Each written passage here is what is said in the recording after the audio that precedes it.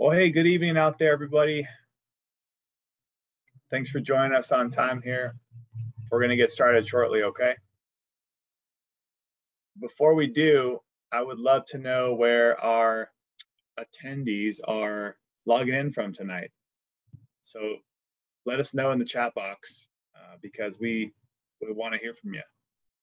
All right, UCLA, Los Angeles, Boston, Thank you for joining us. Toronto, Mexico, Michigan, Vancouver, Charlotte, Texas, Newfoundland. Outstanding.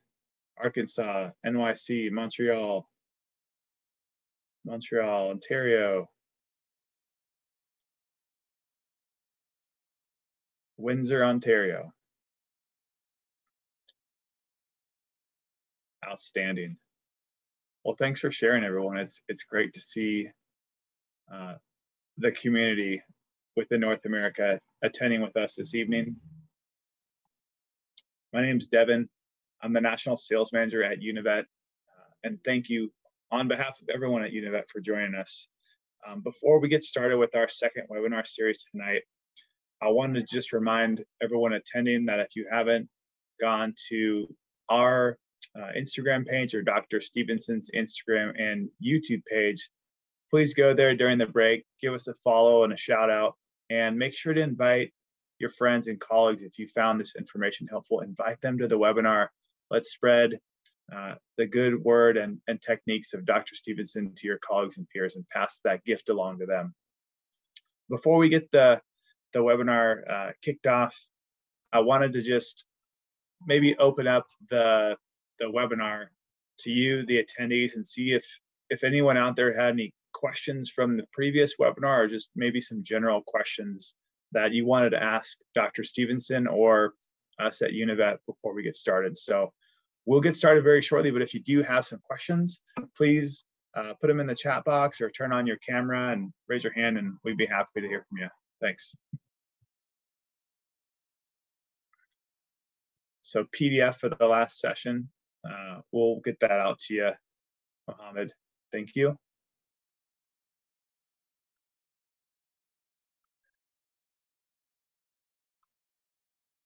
Any um, announcements before you get started, Dr. Stevenson? Okay. Calgary, all right. Well, okay, I, I say we get started. Great. Thank you, Devin, and welcome back, everybody. It's good to see that we have about 100 people with us today. Uh, that's awesome. And uh, we are going to uh, have ample opportunity to address your concerns, your questions, your ideas, your observations, anything. Um, I pride myself on being very approachable. Uh, I think that um, if we can be friends and share the information freely with each other, uh, we we both benefit. So um, thank you for your your attendance, and I'm going to do my best to um, help you uh, understand some of the things that I've learned, and uh, maybe some practical techniques too. So let's get rolling. Uh, we left off with onlays, but I thought I would just spend a minute with inlays just to make sure that we're all uh, clear about about when we would do inlays. And um, I don't perform inlays nearly as often as onlays. And there's a good reason for that. And that reason is that, um, whoops, excuse me, that reason is that oftentimes we can perform direct composite restorations. And really, the only time that I'm going to resort to a ceramic inlay is if a patient asks for it. And I had a patient just recently that wanted to have two two amalgams replaced, and they were they were uh, nice amalgams, but he wanted them replaced with uh, ceramic, and he asked specifically for inlays. Another reason would be where you have uh, difficult access, and we've all dealt with those monstrously difficult class twos and we're trying to get some good contours. We're trying to develop some nice anatomy. And you leave the procedure feeling like you have not done your best work. And, you know, we have to, as dentists, always strive for excellence, no doubt about it. But it doesn't mean everything we do is excellent. Okay. That's not what it means at all. Excellence is a commitment to being better, a commitment to evaluating your work and seeing if you can perform at a higher level the next time you do the same procedure. But sometimes the results are less than optimal. And I think that a ceramic inlay may make our composites in those situations look be, be in other words, look better because they're made from an indirect procedure. Regardless, you've got to have enamel periphery remaining unless you're doing a margin elevation procedure. But remember that margin elevation procedures, although they're very exciting and they do afford us with some opportunities to save tooth structure, they are not extremely well tested in the literature. Uh, they are going to fail earlier than a, than a procedure without margin elevation. There's just no doubt about it. Uh, they're difficult to do. And sometimes we have to look at the, the big picture and decide when there's when there's no enamel remaining on one of the boxes, for example, sometimes those are good indications to just move into an onlay or even some kind of a crown procedure so we can get long-term results. We don't want to perform inlays on endodontically treated teeth. Uh, not a good idea. Uh, we have experimented with this using fiber reinforcements. Um, and there are definitely cases that can be successful. But as a rule, I think it would be really wise for us to, to leave the vital, uh, the non-vital teeth to the onlays and crowns and not to the inlays.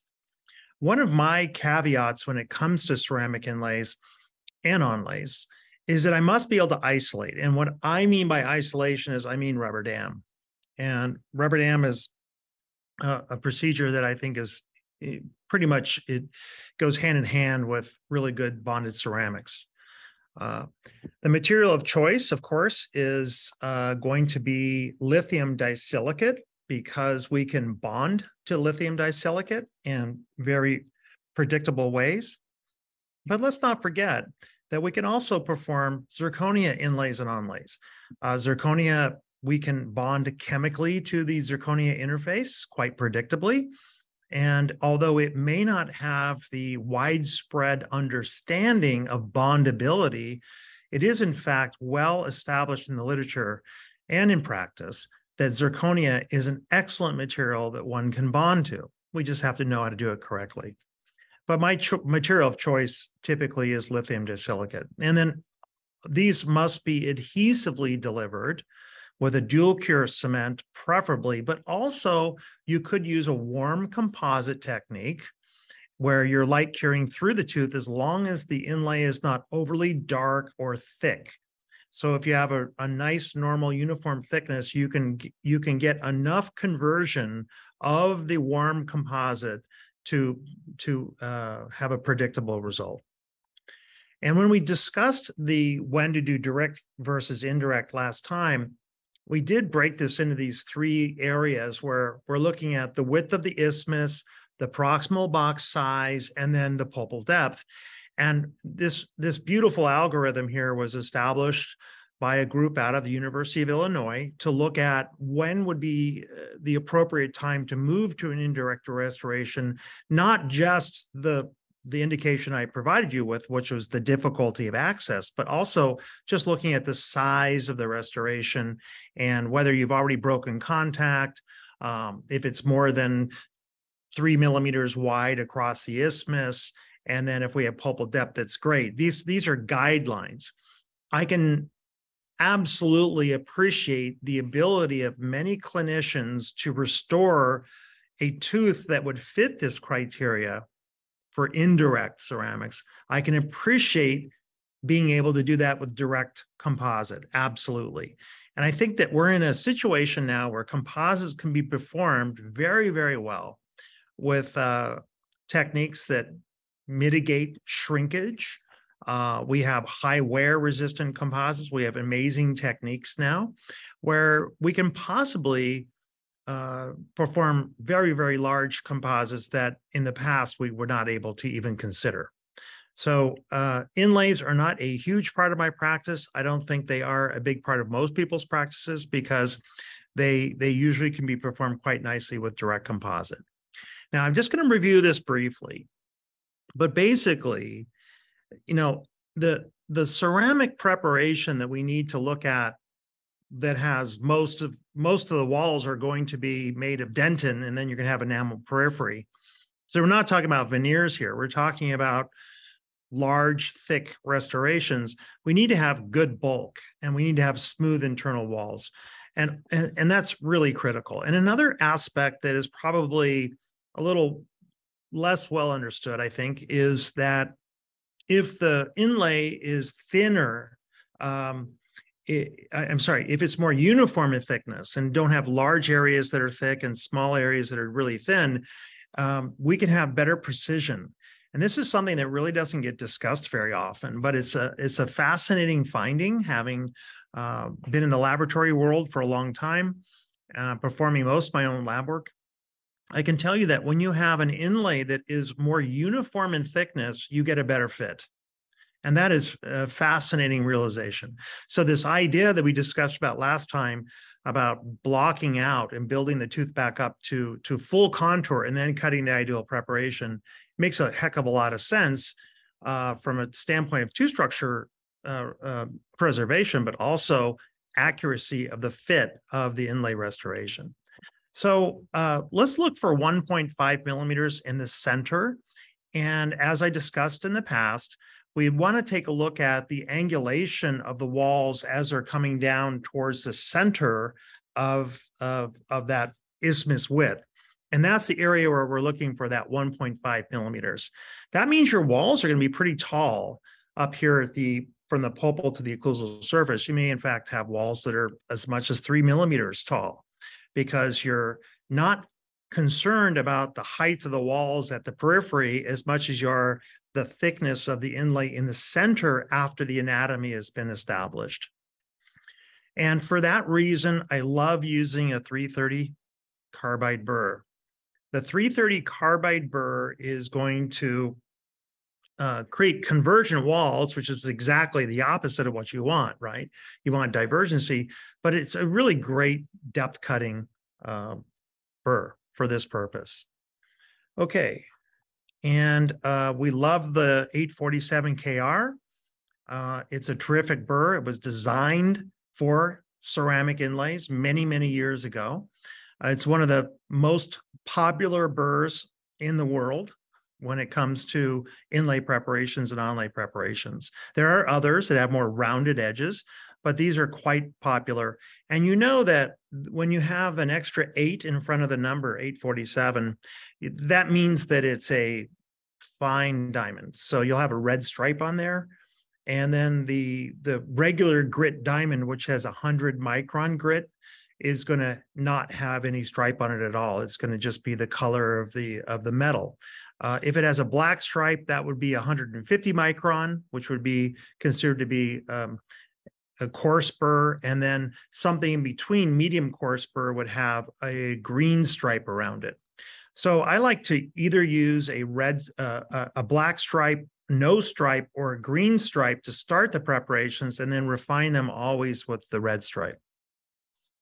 And I showed you this case from one of my friends uh, who just uh, this is you know just routine dentistry in in the in the practice uh the preparations are not necessarily perfect by any means but they're quite well done. And they've got the rounded line angles the proper thickness flowing outline forms and the exit angles that seem to be approaching something close to 90 degrees. Uh, i like to go a little bit more like 91 to about 110 and they seem to be pretty nicely done. Um, it's good, solid work, uh, particularly considering the fact that this person had no intention of taking pictures that day until I bopped in and said, "Hey, uh, take some pictures and uh, send them to me because I want I want to show off your your nice prep." So that was that was uh, you know a nice work. These are inlays. It's kind of hard to even see the delineation between the inlay and the crown itself. So uh, quite a successful uh, operation, I would think. Uh, and just showing you here that when you have preparations, they should be clean. They should have good draw. In other words, you should be able to see all the walls. And you notice here that when I'm taking the impression, um, I'm placing the cord with the rubber dam still in place. And that may seem really strange, but it works great because the patient doesn't have to taste the cord. And you can cut the rubber dam and then inject, you place the cord and then uh, carry on with uh, removing the rubber dam and then taking the final impression. Uh, I love using the two cord technique. Uh, the first cord is a pretty small cord, usually a size zero, and then the second cord is usually either a one or a two, sometimes a three. And I prefer the braided cords versus the knitted cords. Most people use knitted cords. And um, the the theory is that those cords will expand when in fact they really they really quite quite readily contract and they collapse very easily. And so if you're having some trouble getting good separation between the gingival margin and your margin itself, your, your finish line, you may want to try shifting over to a braided cord, which is much more difficult to place because it's thicker. But once it's placed, it does magical retraction of that sulcular area. And you can get terrific impressions. And this is just showing you in this slide here that the the bottom cord, the first cord that we placed, came out with the impression. And if you look from the side view, you can see that the margins have been captured quite nicely, and the cord is not interfering with the interface uh, between the, the finish line and the unprepared two structure. Okay, and this is uh, how we would do this routinely in practice so that we we consistently uh, were able to obtain impressions that don't have flaws due to operator errors uh, whenever possible. And then your impressions, um, after they're poured up, they can be clean like this. Uh, this works the same way for scanning too. So if you're scanning for your restorations, and I scan lots of uh, my procedures as well, um, you're going to want to still manage the tissue, right? Just because you're using a scanner doesn't let you off the hook from tissue management. If anything, your, your tissue management with a scanner has to be even better. Uh, and then the temporization technique that I love to use, it's not very um, sophisticated, but it's very practical. Uh, we utilize a product called DuraSeal, and this is a material that stays flexible. Okay, it doesn't get hard. You can flow it over the preparations, and then it peels out uh, quite nicely after two weeks, three weeks, a month, whatever it takes to get your inlays done. Normally, my turnaround, my practice is about a week to two weeks at the most. So you can uh, tell your patient they're not going to floss their teeth. There's no cement in here. They, we just lay this material on top of the teeth uh, and it seals the margins and the patients actually perform quite well. So uh, that was it for inlays. Let's move to onlays. This is really where we uh, left off last time, and let's go ahead and give you the the indications. And that would be this pretty much the same as an inlay, but we can also treat it. And in this particular case, endodontically treat, uh, treated teeth can be restored very nicely with onlays.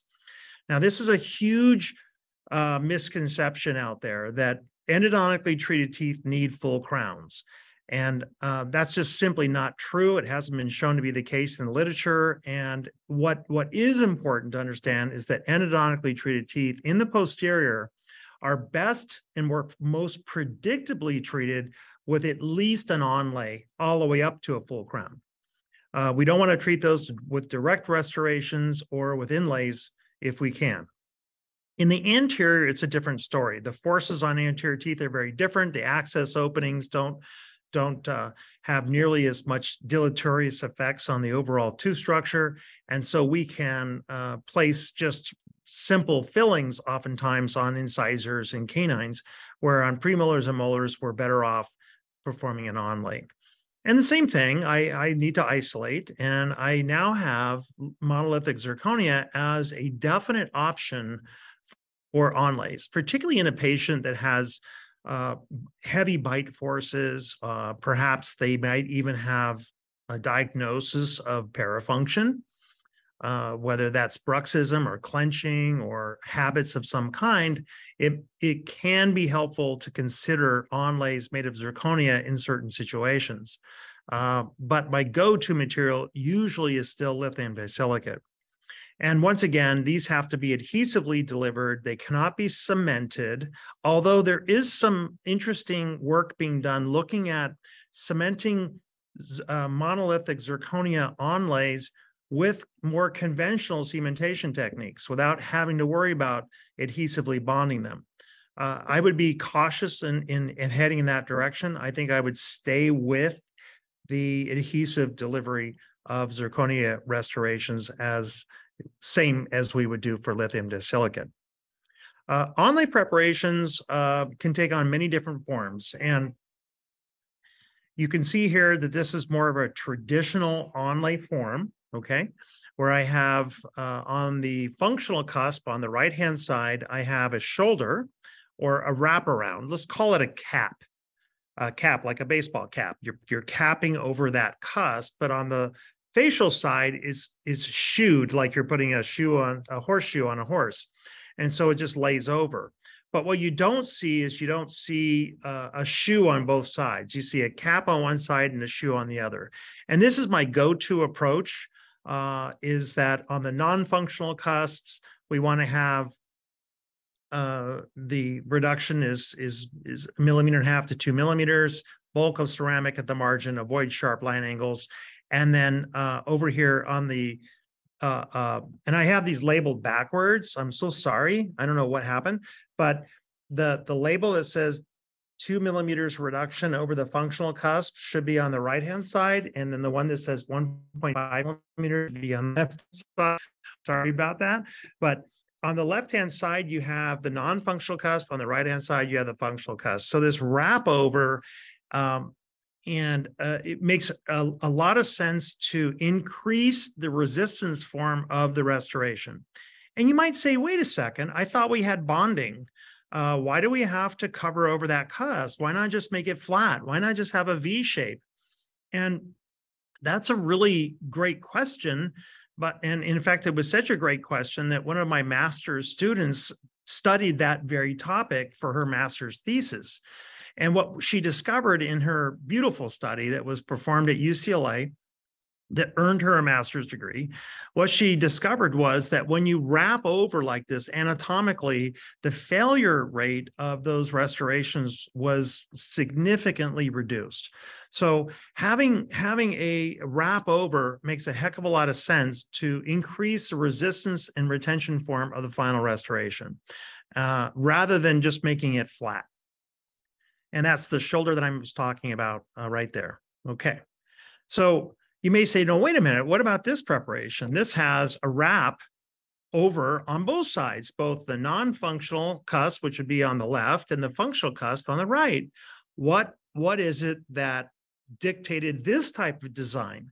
Well, the, you have to just remember that sometimes teeth have cracks, uh, maybe there's some thin walls that we want to wrap around and reduce and, and increase our resistance form.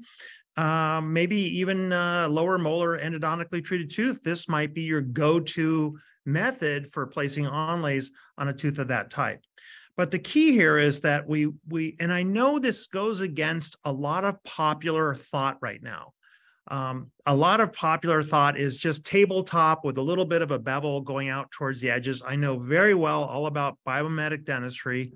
I know the people who are writing the papers. I know the leaders in all of these groups, but it, the the research doesn't back up clinically just leaving things flat. So for long-term survivability, this type of restoration makes a lot more sense to me. And, and there, I have a lot of respect for guys out there that are doing a lot of these innovative things, but let's keep them as innovative, potentially excellent, but not necessarily confirmed by clinical trials. I think that would be a fair thing to say.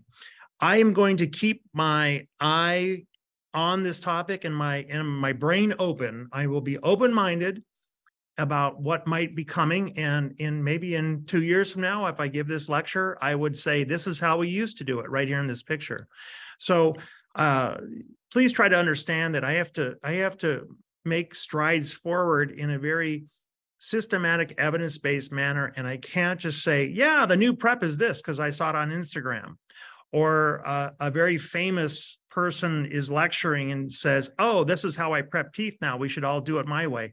That doesn't fly for me. I have to uh, appreciate the science before I'm going to make a major shift. Okay, so the prep should look uh, like this sometimes when you have maybe a really severely broken down tooth that doesn't need a crown. It may look something more like this. The key is to keep things smooth and flowing. And I think for me as an operator, uh, having a smooth and continuous outline is probably one of the most challenging things to do. Uh, I can do the reduction and I can do the boxes and I can do these shoulders or fillet finish lines, but to get them all to connect together in a in a smooth manner takes a lot of effort and that's probably where i spend most of my time on my preparation is how to make all of these angles smooth and flowing i love this slide because it sort of sums up everything i've just been saying with three different possible designs on the top you have essentially it's an inlay that has an onlay of one cusp so uh, the facial cusp on the left has been preserved, and the lingual cusp, which is the functional cusp, this is a maxillary uh, first molar, uh, has been has been covered. And you can see the the diagram or the images on the right hand side. You can see that the way that this preparation might appear as we look at it from different views. The middle one is where, uh, and this is probably my go-to preparation design in most situations would be the shoeing of the non-functional cusp and the capping of the functional cusp. And that's exactly what the middle one is showing. On the left-hand side, you can see you've got the, the angulation of the cusp angle is reduced. The ceramic is going to cover over the facial. It doesn't wrap but it shoes it and it fits with a with a butt joint finish line. And then on the right hand side, that's your lingual cusp, and this is a maxillary molar. So this is our functional cusp, right? So it's wrapping over and creating this capping effect of that particular cusp. And then you can see the various different views of this particular preparation. Now, the bottom one is more like the one I just showed you. And so we're capping over both the facial and the lingual cusps in order to uh, increase the resistance to retention form based on clinical findings, based on something that compelled us to give this a little bit more strength.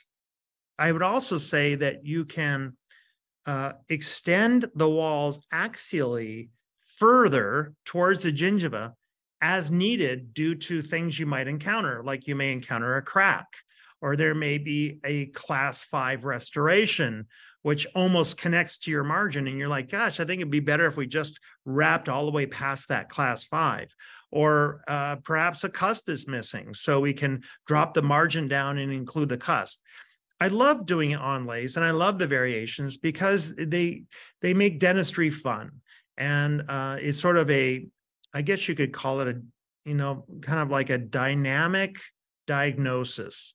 You the diagnosis evolves as you enter the tooth and you start with an inlay and then you evolve to the onlay and to variations of the onlay that may in fact make the the final preparation look a lot more like a crown than maybe you initially thought but the the cool thing is you make these decisions based on the factors that you see while you're engaging in the dentistry itself now i just grabbed this one from the internet uh, and I don't really like it, but it does show you the difference essentially between an inlay and an onlay.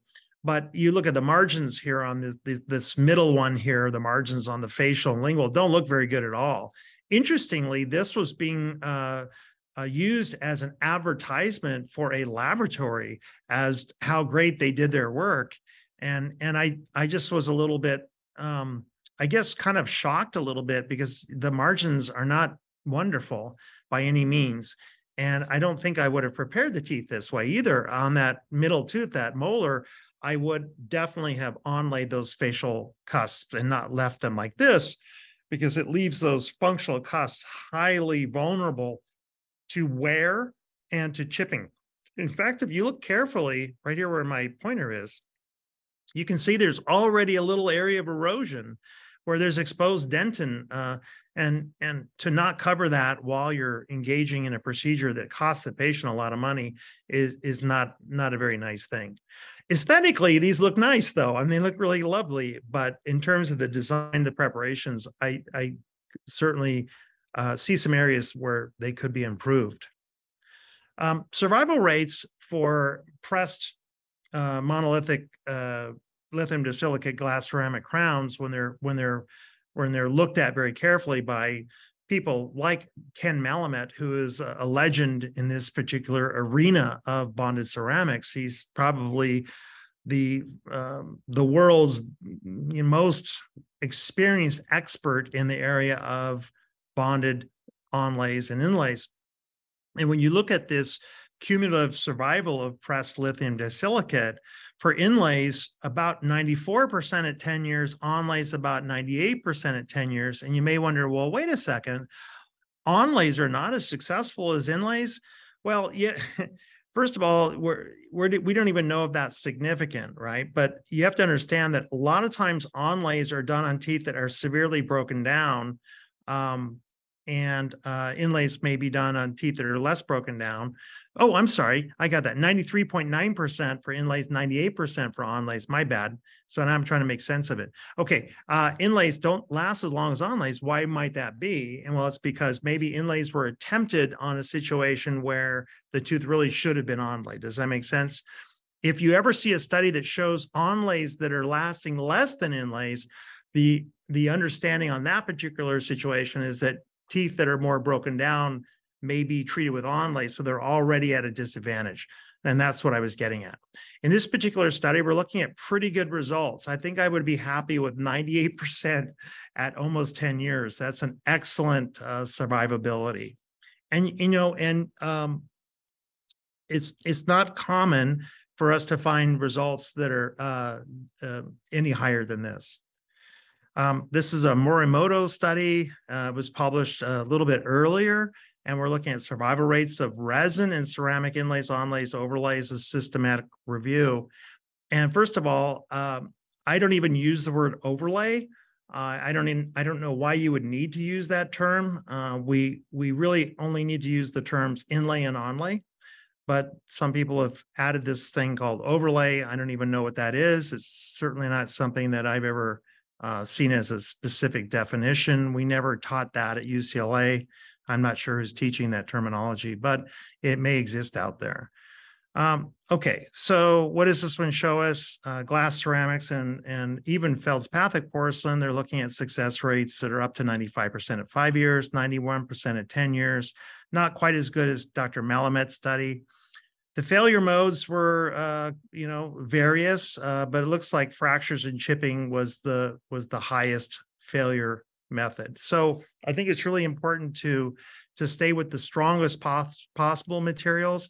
Um, this is including resin and ceramic inlays um, and feldspathics too, which are going to be much more prone to fractures. So this is a study that's looking at a little bit of a different population of onlays and inlays. Um, this is just another one to look at uh, ceramic uh, survival rate of ceramic and indirect composite restorations and uh, CAD CAM success rates being 97% and 89% at 10 years, pressable being 95% at five years. So one would look at this and go, oh, wow, that looks like CAD CAM is more successful than pressable.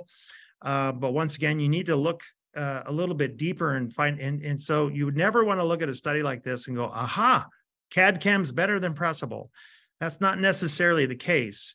Uh, in fact if you have to look at the operators too. So those doctors using cad cam technology in their in their offices they know that when they prepare teeth they have to prepare them really well because they're going to see all their mistakes right away. And and you can you can use the technology to help you prep better. Pressable on the other hand you take the impression send it to the lab you never have to look at it. So i think that our cad cam uh, clinicians out there uh, know this very well that when you when you get cad cam into your office it actually makes you a better dentist. It, it absolutely does. It holds you accountable. So um, i don't think it's the technique so much as it is the operator and then survival rates of uh, ceramic, hybrid, composite onlays, a nice big systematic review and meta-analysis here done by this group. published in two thousand twenty, looking up to fifteen years. They're looking at survival rates ninety-four percent, composite not quite as good, lithium disilicate and hybrid materials much, much higher. And, and I think that's really important for us to remember that really the, the champion in terms of survivability is going to be your lithium disilicate. Um, and I would stick with the winners when it comes to ceramic inlays and onlays. So I guess the big question is, what do you do inlay or onlay when uh, when the prep starts getting wide? When do you decide to cover over that cusp, and when do you decide that you can leave it as an inlay? And this is just a follow up to the same study done by the group out of University of Illinois. And I think that um, I can I could just cut to the chase and give you my answer. If you have any doubt at all about the restoration surviving, uh, you better onlay it. So when in doubt, cover it. When in doubt, onlay it because you you have to remember that the longevity of these restorations could very well depend on your your your your just a slight modification in your preparation. And I'm always thinking, what is this restoration going to look like in 10 years, 15 or 20 years down the line? And I want it to last. I don't want the patient coming back in three or four or five years or even eight years and saying, oh, that onlay you made for me cracked. Uh, or it's bothering me and it has a leaky margin or something. Uh, so when in doubt, I will go for a more um, aggressive preparation. And that means, in other words, an onlay versus an inlay, which is an onlay is so much more conservative than than a full crown, but I will push towards an onlay because I want this to last longer. Um, I guess you could take a look at, you know, these three aspects, occlusal forces, the width of the, the, in the height of the cusps, and then occlusal contact relative to the distance of the margin, and give yourself some guidelines on when you would want to do an inlay versus an onlay. But let me, let me show you the, the, the kind of more of a schematic here. So when the occlusal forces are just pushing down in the middle of the restoration, that could certainly be left as as an inlay if there was nothing else wrong with the uh, with the tooth in question. However, when when the the margin is close to the contact area, like on the right hand side, and we've got a three millimeter tall wall in the box, and we have less than 1.5 millimeters of remaining tooth structure that would be a really good indication to follow that that thinner green line and onlay that particular area. That's all we're talking about. It's just making a very small modification, but with a really great payback in terms of longevity. So uh, I think that, that that that's what this recommendation is pointing towards. Um, when you look at the cusp width and height scenario, and we'd like to see well over a millimeter and a half for the inlays where you can have less than that for the onlays because you're going to onlay it. Um, and the height of the box. If the box is tall, there's more of a tendency for this to crack apart when if the box is very, very short, like if it's less than three millimeters. So that's what we mean by cusp, cusp height, is we're referring to the height of the cusp measured from the gingival all the way up to the occlusal surface. Okay. So um, a really kind of a cool study that they came up with, um, and their recommendations at Illinois are, are following this to this day. And then, of course, whenever you have occlusal contacts that are right near the margins, I think that in the posterior, it's a really good idea to to not allow that to happen and go ahead and onlay those areas. And is this the best possible answer to when to onlay versus inlay? Of course not we just don't know. Uh, our profession is continuing to evolve. We don't have the 100% recommendation for every situation because there are some cases where we can perform inlays that violate some of these principles. And there are other times when we absolutely cannot. Uh, there are some situations where we need to be more aggressive, and sometimes we can be more conservative based on patient factors that go beyond just the tooth factor, right? We have to consider aesthetics. We have to consider the patient's bite forces and their habits. We have to consider uh, how how uh, qual- the quality of the enamel, um, whether they have any wear on the tooth. There's a lot of other factors that will go into making these decisions. Uh, one of the things that I think is worth considering is to cover over the facial of your onlay all the way down to the gingival area when you have an aesthetic concern. Now, this patient had an aesthetic concern on a lower molar onlay and wanted to have the preparation extended down to the gingival level because he wanted to have this. There's the uh, the provisional and the rubber dams being placed, and you can see it there on the on the bottom right hand side. He wanted to have the onlay wall, uh, the color of the ceramic flow down further towards the gingival, just like the unprepared adjacent premolar. And so, in order to accomplish that without having a demarcation line, you needed to do we needed to to perform this procedure which we would call a von Vonlay you could also call this a reverse three quarter crown or something like that um, the um, uh, the common thing when you're doing onlays is that patients are going to see the distinction between the ceramic and the tooth structure. And that's really kind of a bummer. And so what this does is it eliminates that completely. And generally, I will perform Vonlays on maxillary premolars and sometimes first molars when the patient is, has, has expressed a concern that they must have this restoration blend with other teeth. Uh, a really good example of that is just imagine you're performing crowns on teeth numbers 13, 14, and 15, or you're you're doing the um, for you guys up in Canada, right? Let's see, the two five, two six, two seven. Okay. And then the the first premolar is uh, going to receive an onlay, and all the others are getting crowns. In order for you to harmonize that quadrant, and you just do an onlay on the first premolar, it sets up a very difficult shade matching experience for you. The laboratory is going to have a very hard time with it. You have to sometimes, uh, you almost wish you had a certain opacity in one area and a different opacity in the other area, but you can't do that with Emax. Emax is all monolithic, right? It's all one same material. So you it, you know you can do all the staining you want, but it's it becomes extremely difficult to blend. But when you just simply include that buccal surface and you create a veneer that you connect to the onlay, you now have a magical solution uh, to the problem. In other words, the veneer goes along for the ride with the onlay. And all you have to do is connect the junction between the veneer margin and the onlay interproximally in a smooth way, make sure there's enough bulk there, and you can have yourself a really nice restoration that the patient is going to really appreciate the fact that you were able to blend the restoration in with the other restorations. So I, I, like to think this way when it comes to harmonizing aesthetic situations.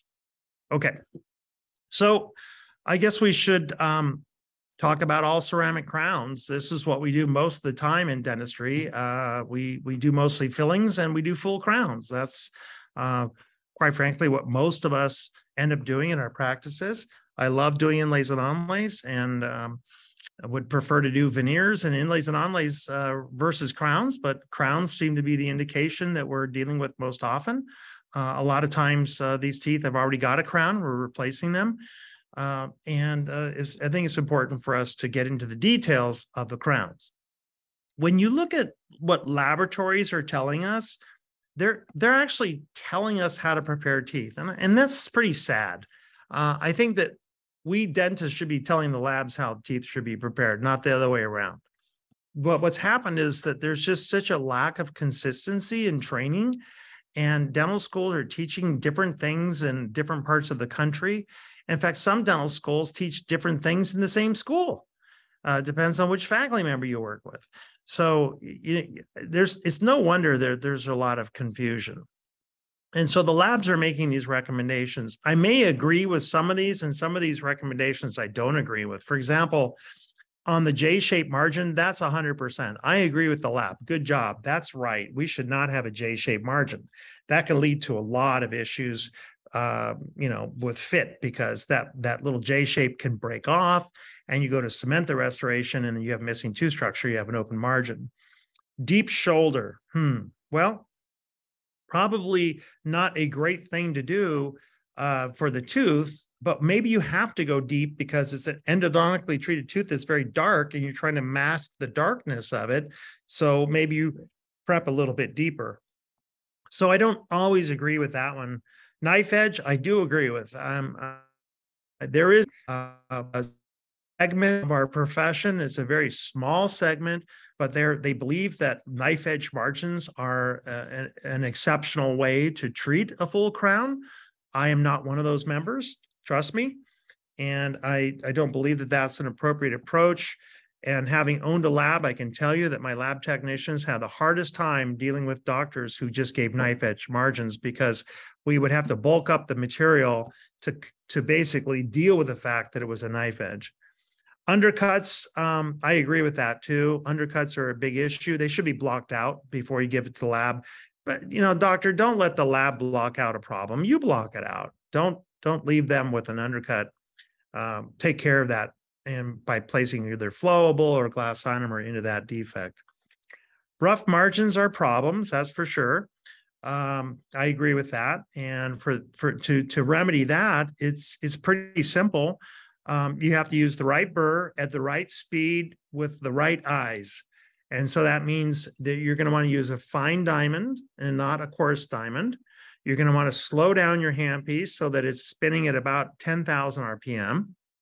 And you want to use high magnification, uh, like our Univet uh, sponsors here today. Uh, grooves, I don't agree with the lab. I think grooves are are fantastic. Uh, I use grooves for zirconia crowns and even Emax crowns all the time. Uh, they're excellent to increase the resistance form, but also they help with retention and they help to help you seat the crown. So by having a groove, it actually can work as a seating tool. Can we mill these? Can we press these? No problem. No problem at all. Parallel preps, no good. I don't agree with that um, basically uh, parallel. I, I, don't agree that you should do a parallel prep. I'm agreeing with the lab. That's why the, I'm agreeing with their teaching here uh, that these are preparations that may have uh, difficulty in, in, fabrication. And what they're going to do here is they're going to block out your preparation. They're going to make your prep more tapered by adding some resin around the die or doing it digitally and they're going to end up having a crown that's going to fit a lot looser than it should because it was made too parallel. Sharp edges, I agree with that. We should round these off. It's very difficult to mill into a sharp edge. And remember, every zirconia crown that's ever been made, that ever will be made until they come up with the printed technique, which is coming, uh, is milled. And it needs to be milled by a machine that is going to have burrs in it that have to get into this small little area and mill out that sharp edge. It's very difficult to that for, for the machines to do that. You're asking too much. Um, the last one I completely disagree with. I think the lab is is 100% wrong in this uh, this contraindication. This one is absolutely a must. We need to have a difference between the anterior uh, anti and anterior crowns between the facial and the interproximal because we want to follow the tissue level and we want to preserve the supracrestal attachment zone, um, formerly known as the biolog- biologic width area. So, you know, the labs are trying to help us out, but they're not even uh, correct in their recommendations. And then I see things like this, and I just I just want to scream because posterior crowns with one millimeter off the top. Are you kidding me? That that's completely uh, a ridiculous recommendation. Those are are not going to have long term survival. Uh, that is way too thin. There's no room for anatomy. Uh, I would highly uh, recommend not doing that. Anterior crowns, you could possibly get away with 0.8 millimeters but I, I sort of wonder, well, why are you doing the crown in the first place? Aren't we trying to improve aesthetics? Don't we want to have more room for incisal translucency? So I think that 0.8 millimeters is is um, not a good idea.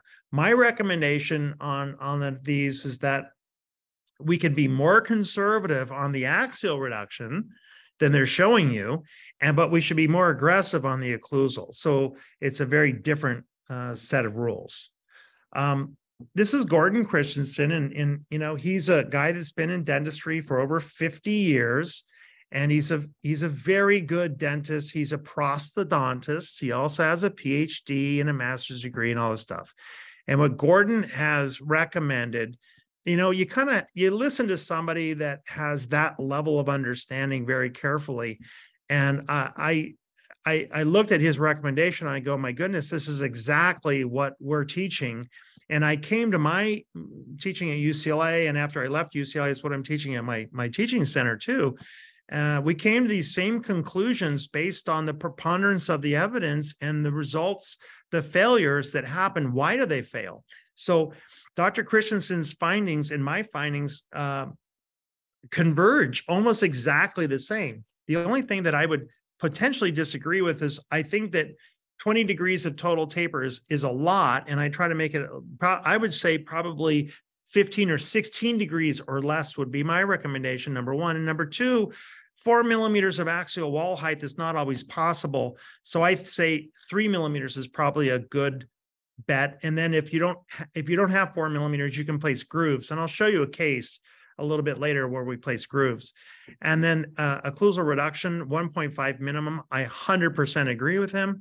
And then axial depth, 0.6 millimeters minimum. I usually recommend 0.8. So we are so close on this, and we came to these the, the, these conclusions independently. And I'm just was kind of uh, I was enthusiastically reading his paper on this topic, thinking, "Oh my gosh, that's fantastic!" This he's talking to general dentists all over this country, all over every week. He's got a seminar someplace. He's spoken to thousands and thousands of dentists, and um, I think that he's somebody that uh, I highly respect, and I appreciate him coming up with that recommendation. Now, what if you don't want to remember all those numbers? You want something really simple? Well, you can always do this one: one, two, three, four, and you're going to be okay you know if this is if this is all you ever do in your practice is all ceramic crowns with one millimeter shoulders two millimeters of occlusal clearance three occlusal planes so you have anatomical resistance form very important and you have four millimeters of axial wall height and you take a nice impression or a clean scan if this is what you do you will be at the top of the pyramid in success. So you can look at those recommendations we just gave and you can just modify them into a simplistic manner and just do one, two, three, four. Uh, several of my friends that are clinicians do exactly this. This is what they do. They just, nope, I don't do 0.6, I don't do 0.8, I do one millimeter shoulder and 1.5 off the top. No way. I'm doing two millimeters and they follow this and it's been very, very successful. So it's nice to have this to fall back on. Okay. So we have to talked about finish lines a little bit, and I'm assuming that most of you understand most of them, but let's just make sure we're really, really clear here because this is an area where there's a significant amount of confusion. And I mean significant, enormous confusion. So if we look at the far left, when we have a, a an angle that's nearly 90 degrees internally and externally, that would be a PFM. And usually it has a little bit of an obtuse angle on the inner angle. It's not usually 90 degrees. We still call that a shoulder. Now, shoulder is going to be uniform depth. It's going to uh, be kind of a small radius, only uh, about two degrees of declination angle of the of the shoulder itself to resist you know, uh, any J-shaped edges or loose enamel rods. And that's the preparation that has been taught for PFMs uh, by the vast majority of, of programs in the country. You can also do a metal margin and do chamfers, but we're talking about the ceramic interface. If we go to the next preparation, it's a little bit more rounded. Uh, the burr here is not quite as sharp. Uh, this would be called a porcelain fused zirconia and we they the the margin design is referred to as a radial shoulder. The the the radius internally is a little bit wider and uh, it's it's a little bit less aggressive to the tooth structure. And we would use these for any time we're placing a uh, or let's just say the recommendation is that this is the preparation design you should do when you're doing a lava crown for example um, and now we have here in the middle, we have four preparations. Let me skip to the far right. So let's go over to the, the gold or metal margins, and those are chamfers. Now, those may not look like chamfers to you, but that is actually what a chamfer is. A chamfer is something that has a declination angle of about at least 45 degrees, preferably 60 degrees. And these burrs here do a really good job with this. And this is what we would use for a gold crown or maybe the lingual of a PFM, where you know you're going to have a collar, a big thick collar on the lingual of a, of a PFM in metal. You could utilize a margin design like this. The problem is this all of the ceramic preparations that we do today really should be utilizing the margins in the middle, those four margins there. And they're all called fillet margins, F I L L E T. And you may think, what is this fillet? What is he talking about? Well, if you go to the mechanical engineering world and you speak with a mechanical engineer or a machinist in a machine shop, and you show the margin, all those margins there in the middle, they're all fillet margins. And you ask them what that margin is, none of them will tell you that's a chamfer. None of them. Yet we in dental education oftentimes refer to these margins in the middle, these four here, we refer to them as deep chamfers, or we'll call them a heavy chamfer or a modified heavy chamfer, or sometimes we'll call it a rounded shoulder. We're trying to find a word that describes that shape. And that shape is very different than a chamfer. It doesn't have a declination angle of 60 degrees, which is necessary for metal it has a declination angle of about maybe 10 degrees or so. Okay. So when we look at these, we should really break these up into different categories. The PFMs are on the far left, the PFCs are in the blue, the pink ones there are all the fillet margins for all of our monolithic ceramics. And then over on the right, we have our um, uh, metal margins. Dr. Uh, Mudit Yadav is uh, one of my associates. Uh, we've taught courses together. He was one of my grad students at UCLA, and we've uh, uh, presented this information in Chicago. Uh, we are in the currently writing up a paper as a recommendation to the glossary of terminology in operative dentistry or in, in prosthodontics to to update the terminology for what this margin is in the pink area here.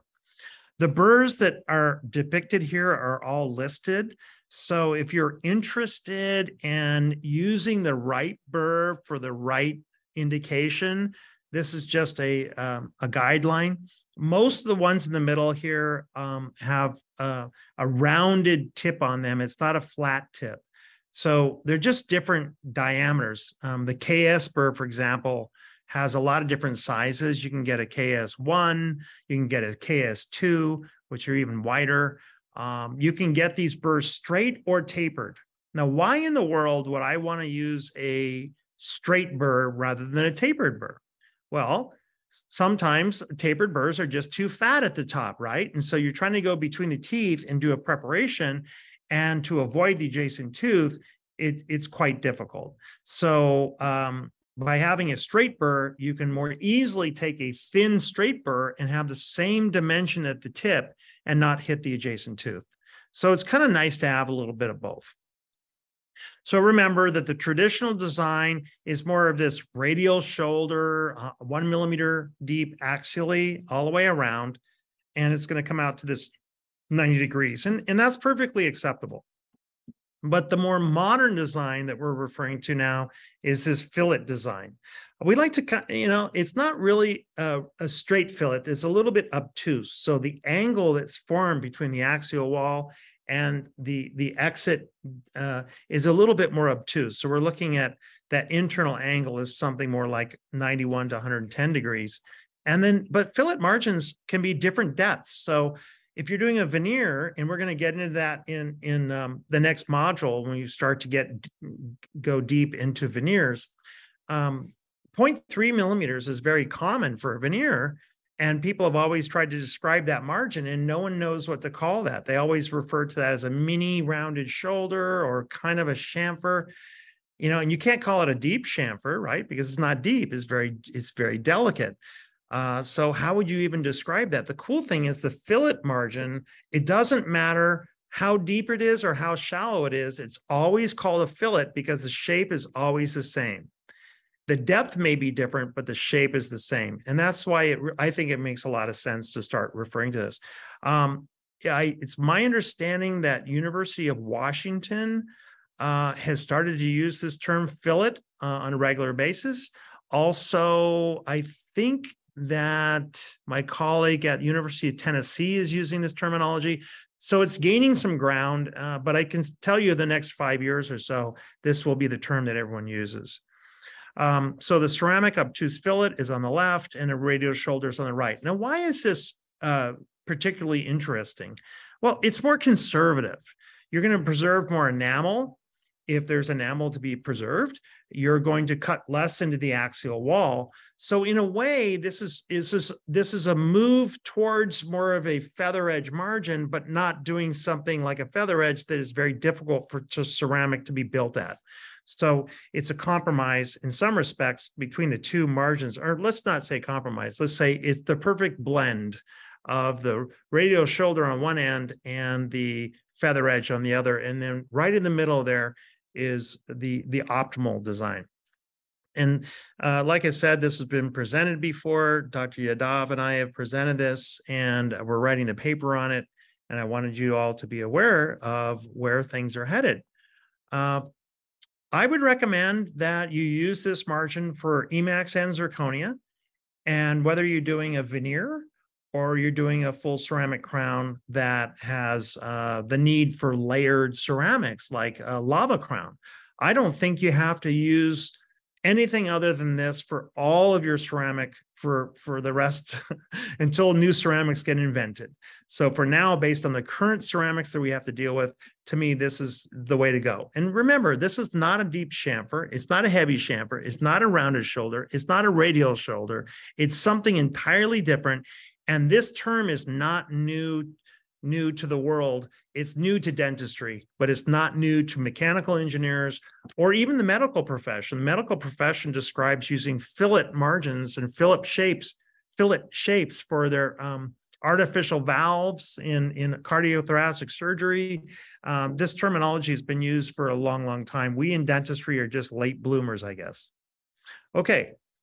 And I think I have the kind of burrs that will give you that particular shape are right here. Uh, and I always love finding the red striped diamond that matches with the coarse diamond that we use for doing the initial work. I want to have a shape that follows that coarse diamond. And so when you look at the KS1, the KS1 burr does not have a corresponding KS1F for some reason but the closest we have is a burr called the 8881. Uh, the 8881 is an excellent burr. This is a 1.2 millimeter wide burr, just like the KS1, 1.2 millimeters, and it's an excellent burr to use for smoothing uh, uh, your margins and obtaining a fillet margin. Remember all the terminology that the first uh, number in the sequence is going to determine the grit. If there's no number, it's going to be 100 microns. If it's an if that number is an 8, it's 30 microns. A 6, it's 125 microns. If that number is a 5, it's 150 microns. The middle, the the last three numbers before the hyphen, that's going to be the shape. So in this particular case, it's a tapered round-ended burr that has got seven degrees of total taper, three and a half degrees on each side. And then the last three numbers have to do with the width of the burr at its widest area, widest area, not the tip, not the middle, not the average, but the widest area. So this burr measures 1.6 millimeters at the widest area, which is up at the top. And then to determine the tip, most of these burrs have the same taper and the same length. So it's very interesting that you can determine with a little bit of you know a little bit of math you can determine exactly how wide the tip is and they are approximately 0.5 millimeters more narrow than the widest area. So this particular bird would be 1.1 i'm sorry 1.6 millimeters wide at the top minus 0.5 the tip is 1.1 so half the tip is 0.55 so if you used half of this burr tip you would get a 0.55 deep fillet margin.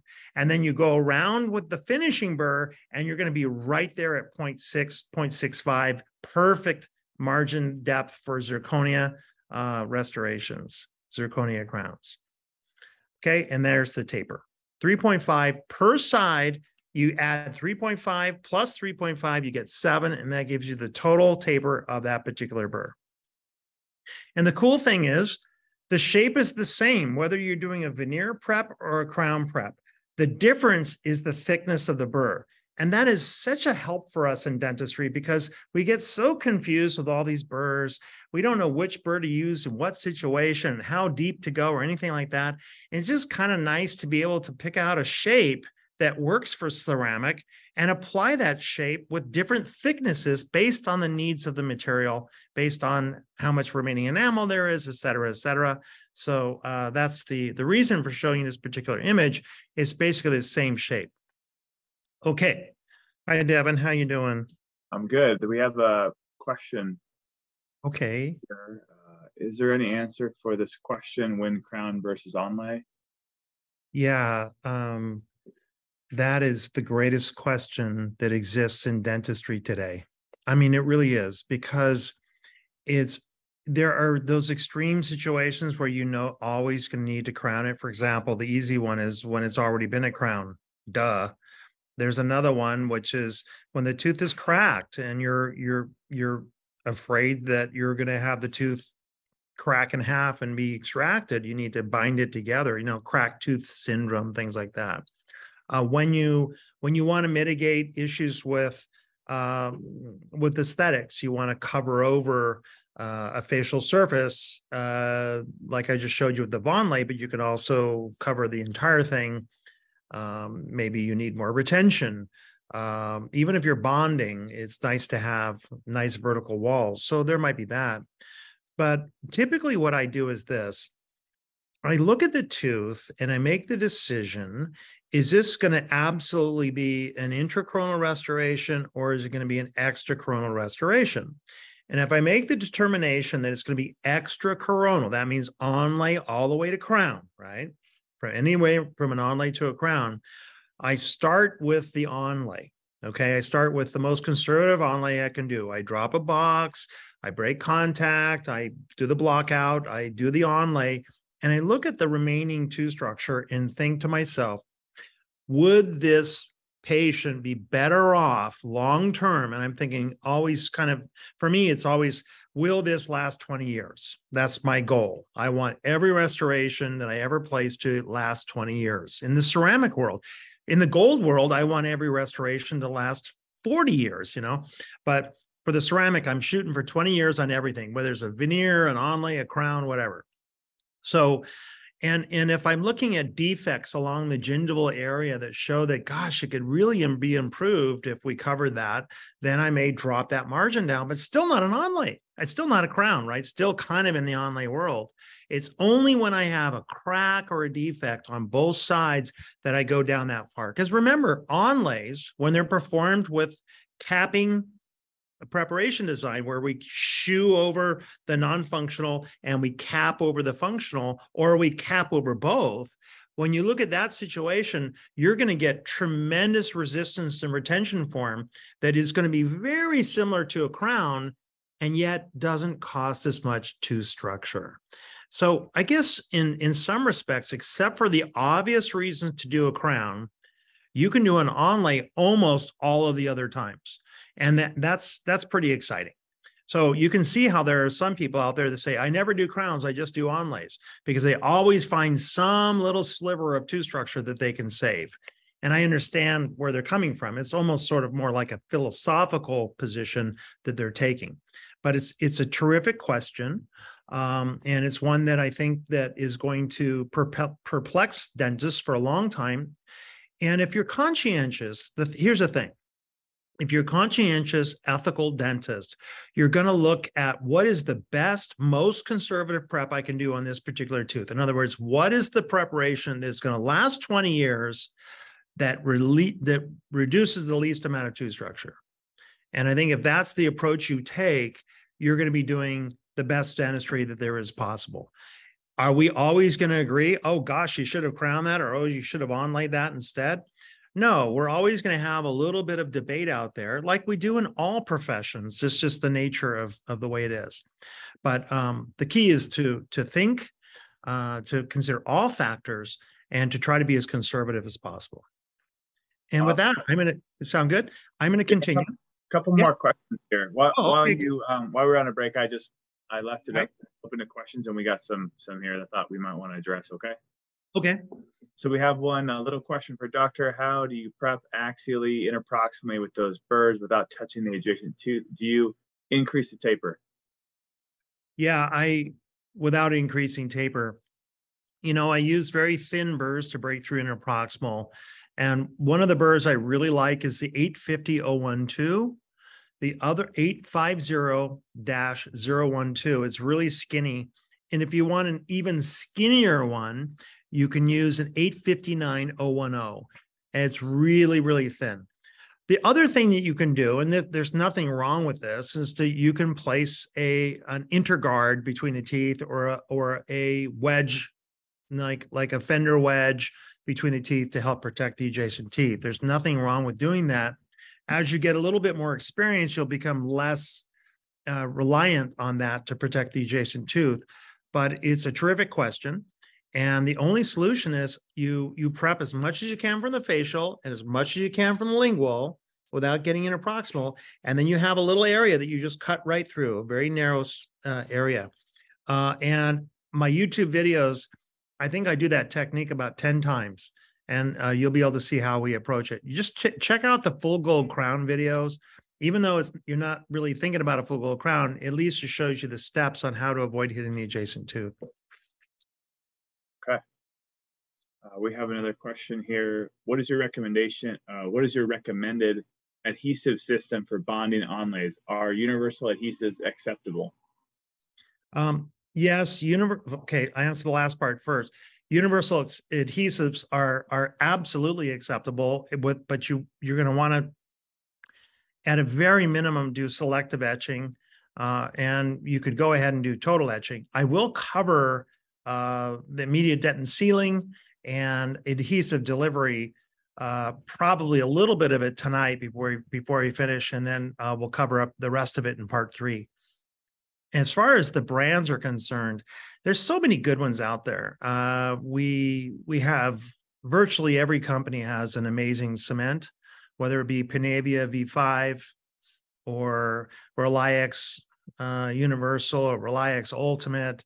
Uh, the products that are made by um, uh, Nex, you know, Nexus, um, uh, by product. Uh, the, the- list goes on and on. Uh, you can use any of the Ivoclar, Ivoclar materials, Ivo, the, the Variolink. And so there's a, there's a whole bunch. Um, the gold standard is usually considered to be Panavia uh, V5 and that version five of the Panavia resin cement. Okay, let's see here. Is there evidence that sub G crown margin can minimize recurrent decay? Do you do you do super G or sub G margin for crowns? Yeah, I mean, th- th- this is an interesting discussion. Uh, by keeping margins below the tissue level, they're not going to be as um, vulnerable to the acids in the in the in our environment, um, to erosion. Uh, but you're going to have other issues with um, the difficulty in keeping that margin clean, maybe somewhat compromised. Um, these are some interesting. It's I kind of chuckle because this is what GV Black said in 1907. Make sure you put all margins in the sulcus where they are immune to caries. And here we are now, 115 years later, bringing this topic up again. And and you're and the doctor that asked the question, you're not the first person. The, uh, this is coming up a lot now, and I think it's because there is this movement to try to bury margins into sulcus uh, and for aesthetic reasons, and maybe also to try to have them less susceptible to recurrent caries. Um, I I would not have that as my main criteria for any margin location. Uh, I will focus more on fit uh, making sure we have excellent fit and keeping the margins super gingival when I can. Uh, and if they have to be sub subgingival, barely getting into the sulcus area to preserve the periodontal health. But uh, it's an interesting question. Is I just I, I I'm I think we need to have some really good data to tell us that that's the right way to go. And I don't I'm not aware of any clinical trials that are ongoing or been published to look at that in the recent years. Okay. I believe we have another one here. Yep. Okay. If there is a pre-existing deep composite on just a small portion of the finish line, for example, approximately three millimeters, is it better to have a finish line on the composite or have a finish line on the cementum and not the enamel because by the time the composite is removed, it will be cementum? Right, I understand. Um, what a beautiful question. And it it kind of depends on who did the composite. So if you place the composite in conjunction with your operation, I think that to avoid crown lengthening surgery uh, and to save more tooth structure, doing a procedure. It's my train coming by here, but uh, I think doing a margin elevation procedure like that is a good idea. I typically, I will say this, that when I do uh, this gingivally extensive margin elevation, uh, some people refer to as deep margin elevation, which I think is uh, once again an example of poor use, poor use of terminology, because depth is not something that is towards the tissue, towards the bone. Depth is something towards the pulp. So we're using the wrong terminology here. We don't talk about deep margins. We talk about gingivally extensive margins but you call it a GEME, I call it a GEAM. Uh, when you have a GEAM situation, I would like to use a glass ionomer in those situations versus a composite because of the the the proven long-term bond that we have with glass ionomer to cementum. Proven. Uh, the the bond of composite to cementum long-term is uh, pretty weak and that's pretty well documented. So I know that the the the trend is to use composite for deep margin elevation or gingivally extensive margin elevation. I don't agree. I think it's a big mistake. And I think that we're going to start to see those mistakes pop up in our practices because of the inability of the composite to have a long term bond to cementum, particularly in an area where it's difficult to get isolation. Okay, I mean, I'm, I'm not a dentist. These questions, like you said, are are exceptional. So thank you for everyone attending for uh, for asking these questions. They're great. Great. Yeah, I love the these are very very uh, uh, challenging questions to answer quickly because each one of those questions could be a whole two hour topic. Sure, sure. Well, that's that's it. Uh, that came in over the break. Yeah. Okay, great. So I'm going to get going here. And uh, I got my timer set and everything, so we can finish a little bit early and have some Q and A. But um, so the standard zirconia preparation looks something like this. You know, 1.5 minimum off the top, two millimeters is even better. The axial reduction at the gingival third is going to be the same, kind of about 1.5. But down at the finish line, we can look at 0.6 minimum and 0.8 millimeters would even be uh, more safe for zirconia. Okay. Now, what do you do if you have this situation where you have the red line and the green line, right? And you have too much taper. And, you know, it kind of depends on your camp, where you came from, where you're coming from. So if you're in the biomimetic camp, this is an easy thing to deal with. You're gonna you're gonna perform a bonded buildup, um, and then you're gonna proceed accordingly. Uh, if you're in the old school retention and resistance camp, you're going to add a feature that verticalizes that distal wall. Um, I don't believe that um, the the uh, technique of just bonding composite is going to uh, be well proven in the literature. Uh, it's pretty clear that if we rely only on bonding, and we're look we're bonding entirely to an to a dentin here, And we're thinking that we're going to be providing that crown with increased resistance and retention form. You're fooling yourself. There's not a single clinical trial to support that. And all the laboratory studies looking at this show that that that approach is is far less robust than this approach here, which would be to add a retentive feature like a box or a ledge of some kind. And you may be familiar with um, one of my friends. His name is Dr. Lane Ochi, O C H I. He's big on dental dental town. Uh, he has uh, been lecturing on this kind of topic for a long time. That we we really need to reevaluate our love of dentin bonding and understand that as much as we love it, it's not permanent. But if we were to use the burr and create some some grooves or boxes, we can significantly increase the retention and resistance form. Uh, we can put this composite cement under compressive challenge rather than tense shear stress tensile stress. So rather than ripping the bond apart, which would happen if you just bonded it to a flat surface or this irregular surface, but now we create some ditches and some boxes and then places zirconia into these. Now we've got something that's really going to lock in there. So I'm old school, you may think, uh, but I, I think that the new school hasn't been proven to the point where I want to do it on the on a routine. Remember, I want 20 years of service out of my crowns. So could you build it up in the green and then use the boxes on the sides and, and do kind of both? And the answer is absolutely. So let's get the best of both worlds. Let's go ahead and bond, but let's also add some resistance features like in the blue. Okay. And um, for lithium disilicate, we're looking at a preparation that is a little bit more reduced than the zirconia, uh, but also we can be more conservative on the axial walls. It's fascinating about lithium disilicate that we can be more conservative than zirconia on the axial reduction. And a lot of people have that backwards. They think zirconia can be very thin and it's very strong. Not so much in tensile. In compression, yes, but lithium to disilicate, on the other hand, has this incredible ability to be more resilient, more able to stretch and then rebound rather than snapping off. So we can be more conservative. After all, we do lithium disilicate veneers all the time that only have 0.3 millimeter of thickness at the gingival margin.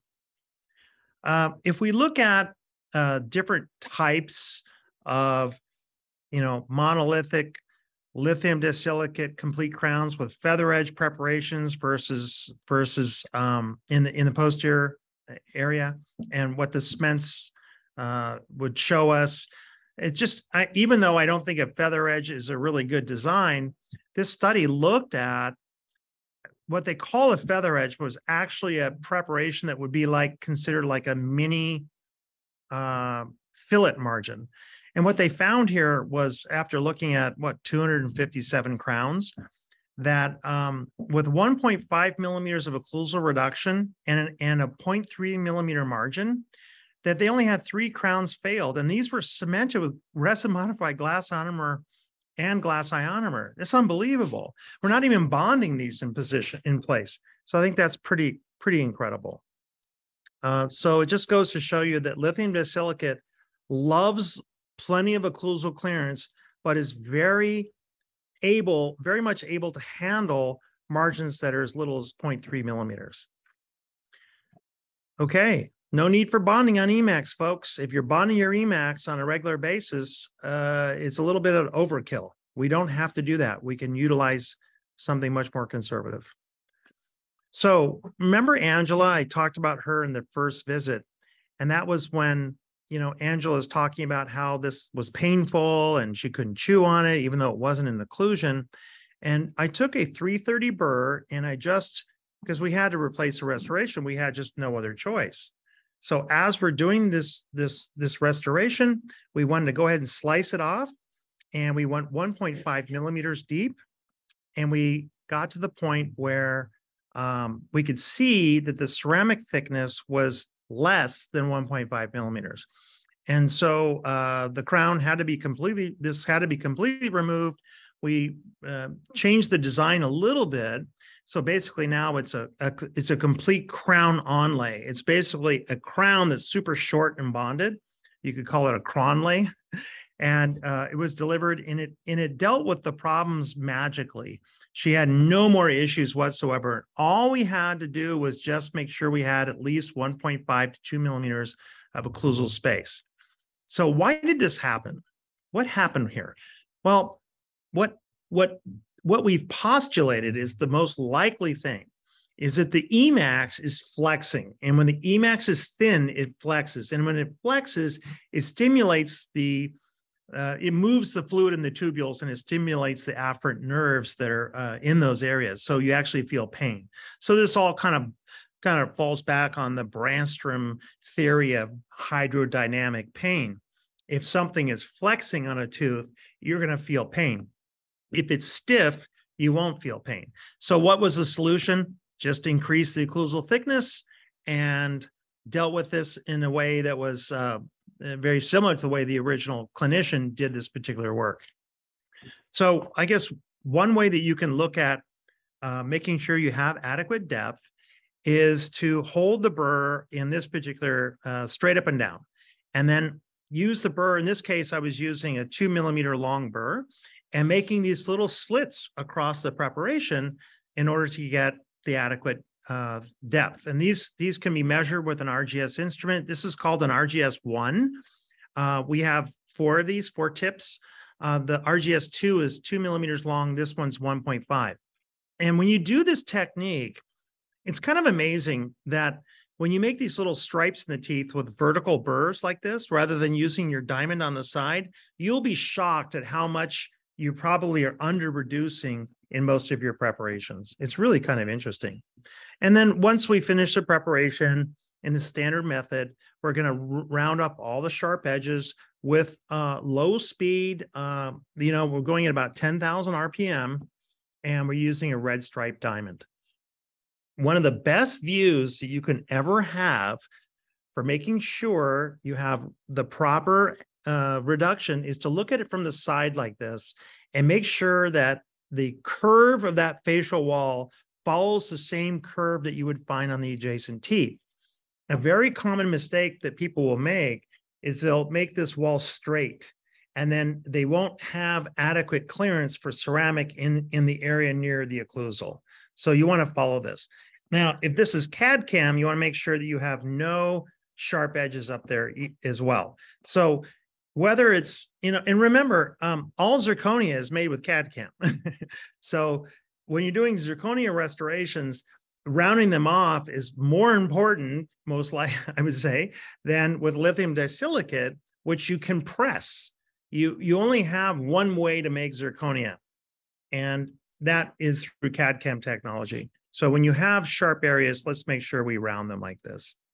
Uh, remember, the burr is this is an older step burr from uh, CEREC that we make uh, slightly different shapes now. The burr's a little bit different than this one, but if you were to put this burr into the preparation and have it go like this, you can see that the burr itself would need to be uh, using the edge of the burr to cut this. And there's no way that burr could get up into that sharp area. Does that make sense? So imagine this is the burr for the milling machine that's trying to follow your preparation and it and it cannot get into that little sharp peak. So what's going to happen is the burr to overmill that area. It's going to overmill that area. It's going to go deeper into the inside of the crown to get make sure that the crown seats all the way. And the problem with that is that your crown becomes thinner. So when we when we prepare our teeth 1.5 to 2 millimeters, it doesn't mean that the crown's going to be 1.5 to 2 millimeters thick, right? Because it's impossible crown perfectly rounded and smooth. It's just not practical. You're going to have sharp areas every once in a while, right? But the key is to give yourself enough uh, of, of a extra reduction to allow for the crown to be made and still be strong. Uh, I've talked a lot about, or I've, I've talked in the past, maybe not tonight so much, about milling milling uh, differences. Okay, and this is a device that laboratories will use to mill your zirconia, or they'll use a more a larger device. But basically, what this is is a five-axis mill. Most dentists do not have five axis milling available with their CAD CAM. Most dentists are using what they call three, three plus two ax uh, milling or just three axis milling. Sometimes people have four axis milling.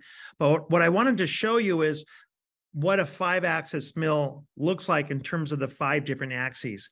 We as dentists need to know what those five axes are. So when we can talk to our laboratories, we can ask them, hey, are you using a five axis mill? Um, you're not really? Which mill are you using? You're using a four axis mill? Oh, no wonder I'm not getting the results I want. So let me show you what a five axis mill um, it what it does. And I'll just this is just a short video.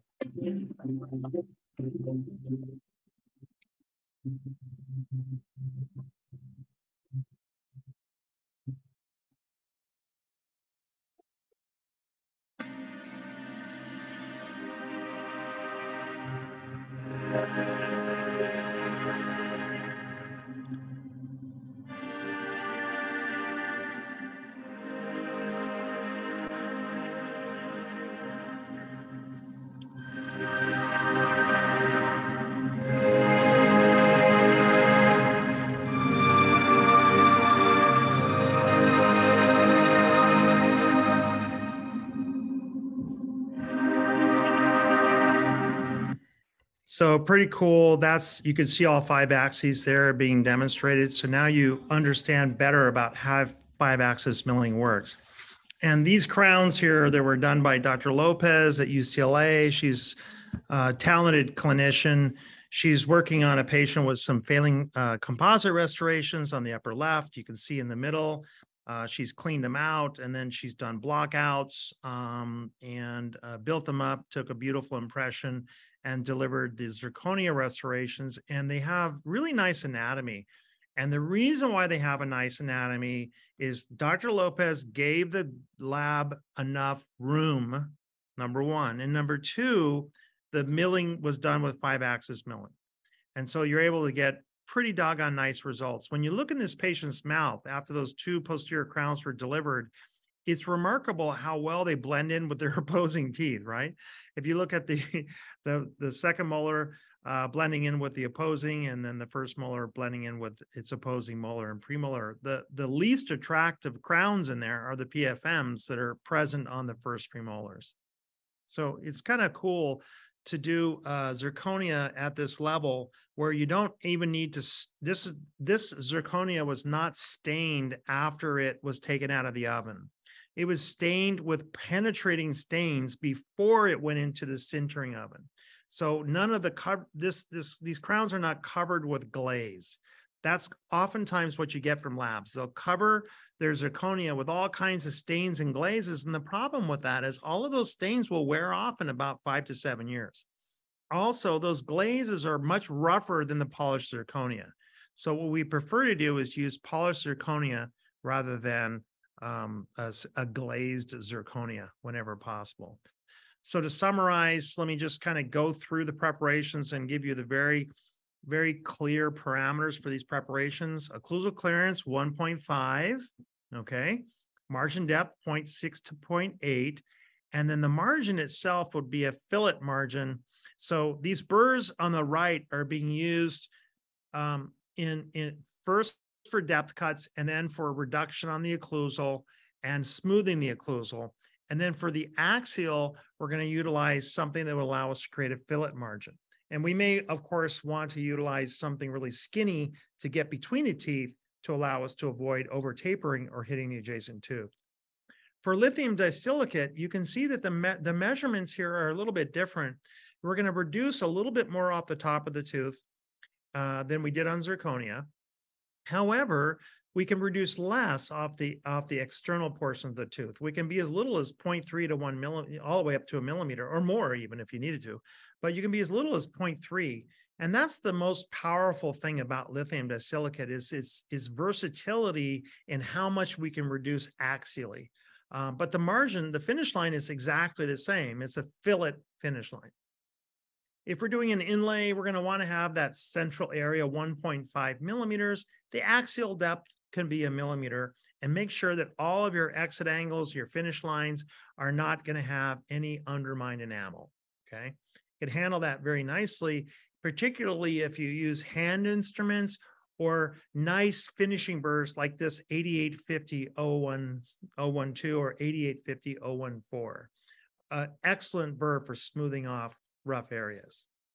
If we look at onlays, we can see that the, the measurements are a little bit different. Uh, two millimeters of occlusal clearance is what we recommend if it's a dentin substrate, but occasionally, and I mean occasionally, very rarely, you can get away with one millimeter if it's entirely in enamel. Now, sometimes a tooth will be in uh, hypoocclusion, maybe it's ankylosed, or perhaps you're opening up vertical dimension with a bunch of uh, overlays, onlays on all of the teeth, and you have enamel remaining. If you have all enamel remaining, you can treat that a little bit differently because the, the, the it's not so much the enamel, it's the DEJ.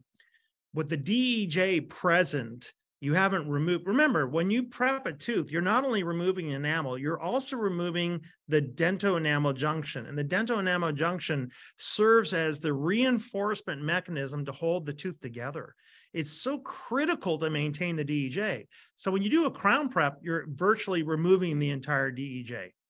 And uh, very few people talk about the importance of the dento-enamel junction, but it is absolutely critical to preserve as much of the dental enamel junction as possible. Uh, but the pulpal depth uh, in the middle is still the same, 1.5. Fillet margins, axis depth is the same, and the burrs would be uh, very, very similar to the burrs we've been showing you. For a veneerlay preparation, this is you know where we're going to be covering over an aesthetic area, whether it be a maxillary first premolar or mandibular first premolar or even a mandibular molar in the case of that patient I showed you, you're going to need to do some kind of of a veneer type preparation. And the axial depth doesn't need to be a millimeter at the gingival area. It can be as little as 0.3. So that's why I'm showing you here um, one of the veneer depth cutting burrs. This one happens to be called um, LVS uh, 2 which is 0.3 millimeters of, of depth cutting. And you can actually prepare that facial very, very conservatively. Okay, so we're cooking along. Let's talk a little bit about fixed uh, dental prostheses for, um, for bridges. And uh, there's a lot of uh, things we need to discuss. One of them is that you need to be careful about studies like this. This is a good study. It was done by Irena Sailer. She's fantastic. Um, one of dentistry's legends. Um, she's in uh, Zurich at the uh, at the Department of. Um, I think she's with. I trying to remember. Um, anyway, University of uh, Geneva in Switzerland, Division of Fixed Prosthetics and, and Biomaterials. That's right, and uh, and and she presented this paper uh, to the Academy of Operative Dentistry a few years ago, and I was shocked because you, you look at the zirconia and the zirconia was only performing at five year survival rate and 90%. And I thought that number is low. That's a really, really low number. What's going on here? Um, you know, the the glass ceramic was doing almost as good as zirconia. That just isn't what I know to be true. And here's the problem with this study. It was published in 2000, um, 2015, okay, but it, they received it in 2014 and it took them a year to write the paper so you have to go back to 2013 go five years back from there. Now you're looking at you know 2008 or so. Um, we were not even doing uh, monolithic zirconia. The zirconia that is being mentioned in this study is the layered zirconia. In other words this is the zirconia that we used with uh, a coping made of really strong zirconia. Then we put ceramic on top of it. And what was happening with these is the ceramic was breaking. And so if you read this study, you go, oh my gosh, zirconia is terrible. We should do PFMs. But you need to be careful about studies. You need to be you need to really understand when they were when they were done and understand when zirconia was brought onto the marketplace. Zirconia has not been on the market that long. So this is a study looking at a different way of handling zirconia many years ago. All right. When we take a look at the recommended connector dimensions, what that means is the area that is between the pontic and the retainer, right? The retainer is the name we give to the part that fits on top of your preparation. Your preparation is called the abutment, right? So the abutment receives a retainer. And that's part of a fixed dental prosthesis, right? And so we, we don't call it a fixed partial denture anymore, and we don't call it a bridge. We call it a fixed dental prosthesis, tooth retained as opposed to implant retained. And so the measurements of these connectors is going to be different based on the material. And you look at these recommendations that were originally made, only nine millimeters of connector dimension in the posterior. Well, no wonder they were breaking. I mean, that's just not a lot of, of, of area to resist fractures. So these numbers right here are too conservative. Um, when you look at bridges that that had that framework, like the ones that Dr. Sailer talked about in her study that only had like a 90% success rate, well, here it is. This is the same thing. This is Ariel Raigrodski, and he was the chairman of PROS at University of Washington School of Dentistry, the prosthodontics program up there. And his study basically showed exactly the same thing about 89% success rate at five years because these bridges were done with a two layered approach. They had the zirconia core and then they had regular old porcelain put on top of them. And they failed at very, very high number, very, very high levels. Okay.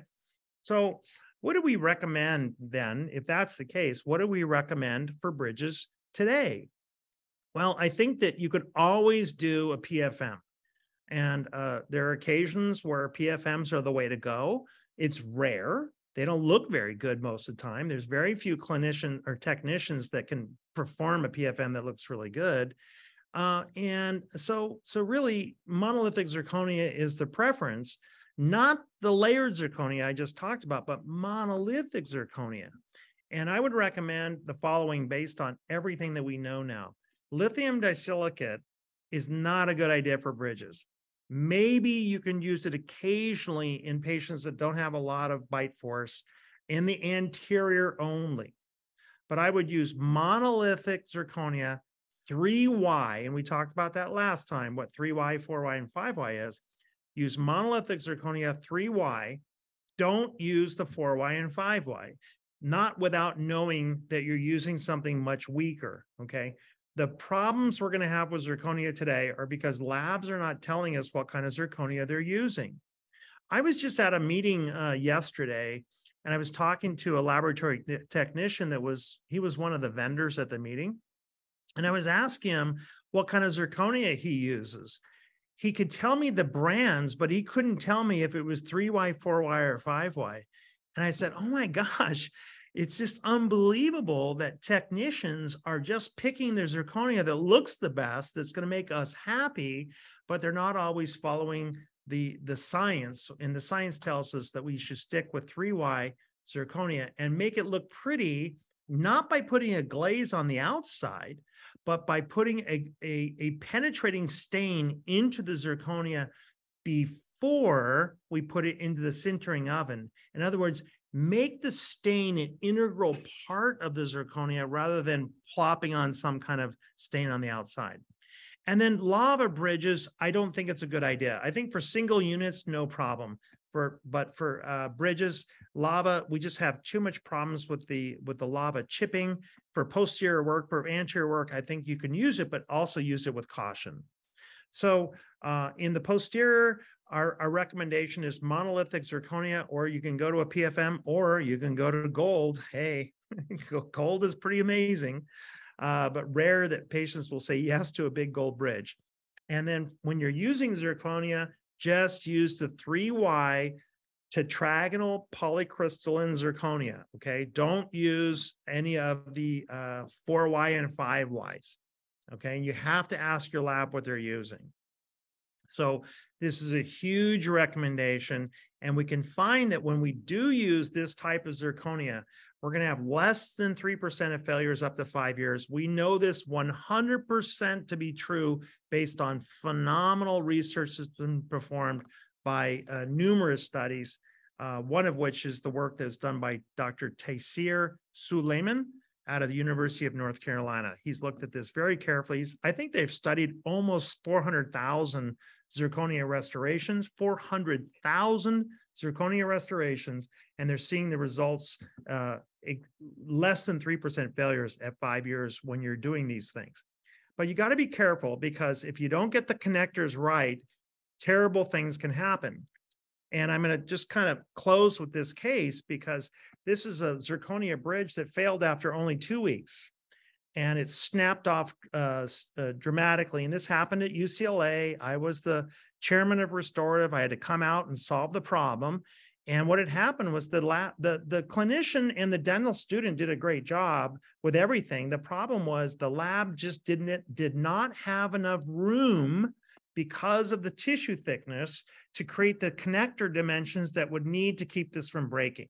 So I looked at it, I measured it, and I saw that this did not meet the criteria of adequate thickness for a connector. So I'm going to leave you with the connector thickness here. For e.max, I would just stay away from posterior completely. But for zirconia, these measurements right here, three by three and three by two, not good enough. For zirconia, we're going to kick it up to a, a, much wider connection. So on the posteriors, let's look at 12.5 millimeters rather than just being nine millimeters. For anterior bridges, anterior uh, cantilevers, we can be very, very little. And the work that was done by Jerry Sheesh out of the University of uh, Louisiana in their PROS program has really confirmed that these numbers are very, very good guidelines. And I would share this with your laboratory technicians. Uh, if we look at partial denture survival, okay, 2,000 papers over a huge period of time, 100, uh, 841 restorations evaluated, we're looking at lithium disilicate here, single crowns, no problem. But look what happens with, with bridges the fixed dental prostheses here, their success rates were very, very low. You cannot practice dentistry with 71, 29% uh, of your bridges failing after 10 years. You cannot practice dentistry, not in the United States anyway. I don't think you can anywhere else. Uh, your patients are going to report you. You're going you're going to be out of business. So we just simply cannot use lithium disilicate for bridges. It's just not a, a wise decision at this point, unless you use it in the anterior and use it with extreme caution. My material selection is really simple. For bridges, use class five, 3Y zirconia whenever possible. Remember that you're going to be utilizing the Vita Classic shades for this because zirconia doesn't have the 3D shade guide. You can use a 3D shade guide, but you're using it mainly just to give the laboratory technicians more information. If you're going to do something for aesthetics, go ahead and use a class four, but use it with extreme caution and make sure this is not for somebody that's a bruxer or has some kind of clenching problems, things like that. Don't veneer the porcelain. Don't don't veneer the monolithic zirconia with porcelain. Don't do it. Just just have the lab do pre-staining. In other words, they do surface staining before they sinter it. You got to tell the lab, this is really critical. I don't want you to add feldspathic porcelain and glaze to my final zirconia crown. I want you to add the, the staining from uh, before it goes into the sintering oven in its green state. In other words, the state when it's still uh, chalky and 25% larger than its final dimension, have them add the stain at that point, it soaks into the surface, then it goes into the, uh, the sintering process. And then, you know, it, even if you're not bonding, I highly recommend you sandblast your zirconia and get it nice and clean. Uh, and you can use primer too. And then the primer is going to link with a lot of your cements out there. If you want to do bonding, that's even even uh, better. But I don't know that you really need to do that. If you have good four millimeter tall walls and n- enough retention, you can just use uh, glass ionomer cements. Okay, and I think that's it for tonight. So I'll leave it open at this point to Q and A. I know we're we're probably a little bit long, but um, if there's any Q and A, maybe I can handle one or two questions and then uh, it'll be almost eight o'clock. Devin? Yes, thank you. Uh, I think we might have some things here in the chat. First off, uh, thank you everyone for hanging out with us tonight. Thank you, Dr. Stevenson. There's a link in the chat box to access the evaluation and to get your, your CEs. So make sure to take some time to go ahead and fill that out. Also, for those of you out there, Dr. Stevenson's a huge advocate of ours for our loupes. If you don't have a pair of Univet loupes, if you've never seen the optics yourself, go ahead and go to our website, submit a request to be contacted, and let's get a rep out to you. Uh, it's it's been a pleasure hanging out with you tonight. And uh, hopefully we get a couple questions here because I know the group's been pretty engaged tonight. So uh, You know, and, and Devin, I, it, it's, it'd be great if people can contact me too through email. Uh, I think I've given out my email before, but it's RGS, my initials, RGS at stevensondentalsolutions.com. And I respond to all emails. I'll give you my best answer I can. I would appreciate engaging with you. Um, and if, eh, you know, we have a lot of helpful information on our website, Stevenson Dental Solutions. Check out my YouTube channel. Um, there's a lot of helpful information there. Um, it's all about, you know, just sharing the information as best we can with people. I wanted to mention just one more thing. If you haven't been to Stevenson Dental Solutions in in San Dimas, go to Dr. Stevenson's website and check out his courses. Come on out and uh, have some fun with him and his team. They're they're awesome. Yeah, you know, the thing I like about our courses, Devin, is that you've been out here many times.